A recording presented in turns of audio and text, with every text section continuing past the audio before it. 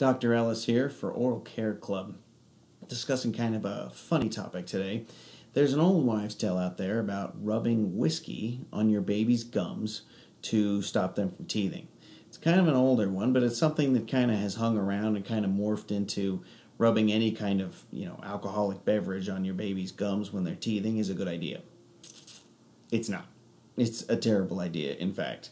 There are so many more things you can do for a teething baby than rubbing whiskey, rum, you know, scotch, whatever, on a baby's gums. Uh, first thing is that alcohol, even a teaspoon of alcohol, for an infant can actually be lethal. So it's a really bad idea to uh, dispense alcohol to a child in any form, dose, even if it's just kind of wet on the end of your finger. That's the first thing.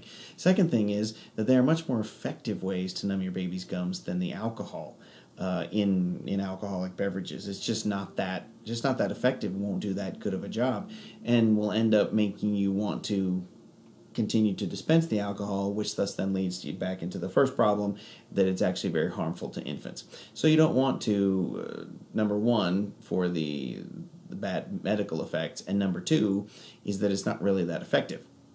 So, what is really effective? Uh, first thing is just something a little cold. You don't want to put something frozen because we've all seen uh, Christmas Story where you lick the flagpole, right? That's a bad idea. So don't give your kid a piece of ice, uh, but something something cool, something chilled on the gums. Then there are uh, over the counter numbing agents. Uh, if you don't want the chemicals in there, then that's fine too. There are other uh, things that are more holistic, uh, essential oil type th- things that you can rub on the gums, uh, home remedies that you can look up.